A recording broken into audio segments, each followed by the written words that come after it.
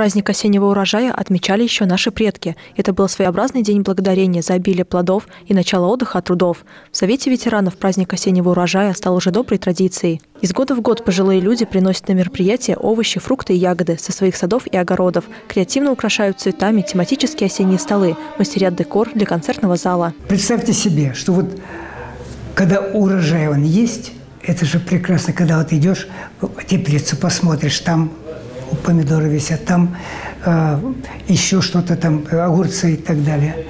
Ну а потом, когда собираешь, так это же вообще, тем более вкуснота, это же свои причем не откуда-то взятые, а именно не купленные. Павел Амеличев всегда уходит с праздника урожая не с пустыми руками. Хозяйки угощают гостя своими заготовками. В этот раз депутат городской думы тоже подарил ветеранам подарок и поздравил всех пришедших на мероприятие. Отличное настроение для гостей создавал вокальный ансамбль «Улыбка» со всеми любимыми песнями про осень и не только.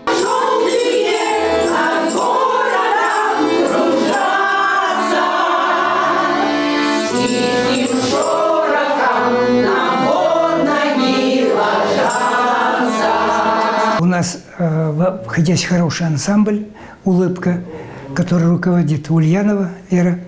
И э, они под баян поют всегда. У них э, вообще репертуар очень широкий, но они каждый раз выбирают, какие песни петь, что, чего представить. И главное, каждая песня э, что-то чем-то сопровождается какими-то э, словами какими-то хорошими. Праздник осеннего урожая для ветеранов города – это еще один повод встретиться, пообщаться в душевной обстановке, обсудить планы на будущее. По традиции, после концертной программы ветераны собрались за праздничным столом. Светлана Ярунова, Константин Островский, Сергей Рябов. Служба новостей Саров, 24.